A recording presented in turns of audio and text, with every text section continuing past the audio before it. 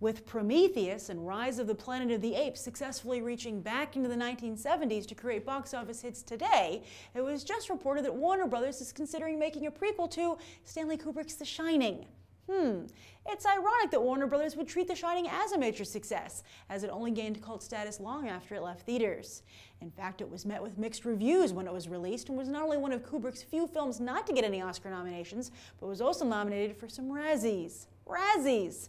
Even Stephen King, who wrote the original novel, wasn't happy with the film, as he felt that, while good, it didn't accurately reflect what he'd written. In fact, when ABC wanted to adapt another one of his novels for television after having great success with It and The Stand, King said he wanted to redo The Shining next. King wrote this adaptation himself and made sure it was filled with the hotel which had inspired him in the first place, ironically, the Stanley Hotel.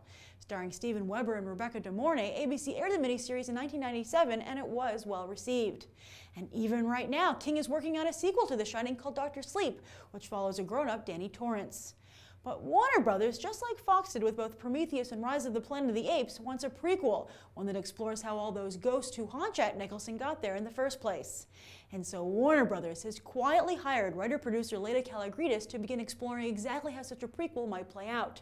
When word leaked that they did, the LA Times noted the pedigree of Kalogridis' past work, Avatar and Shutter Island. Sounds promising, right? Well, what they failed to mention is that she also wrote Oliver Stone's Alexander, box office flop Pathfinder, and the short-lived TV shows Birds of Prey and Bionic Woman. Even Shutter Island owes more to Martin Scorsese's visuals than Kalogridis' weak adaptation, not even original screenplay, of Dennis Lehane's novel.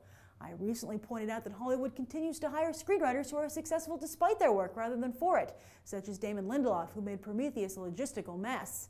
Yet Duncan Jones is forced to take two-year breaks between projects because no one will hire him. He'd be a great fit with The Shining. Or how about Drive's Nicolas Winding Refn? I trust him to make a Shining prequel, and I'd be totally cool if Ryan Gosling starred in it. And those two writer-directors are just off the top of my head. Yet since Warner Brothers has chosen not to go in that direction, and instead with a more mainstream writer like Kalogridis, it makes me think they're more in the King camp than the Kubrick camp when it comes to The Shining. What do you think? Is a franchise's value in name recognition only and not in style and craft? And could a slow-paced art house horror movie like The Shining even compete with the Saws and Paranormal Activities of today? Plus, which camp are you in, King or Kubrick? Me, I'm in the Kubrick camp, yet I don't enjoy today's horror films, which do make an awful lot of money. Be sure to share your thoughts down below. I'm Grace Randolph, and this has been a Movie Bite. You can watch more right now.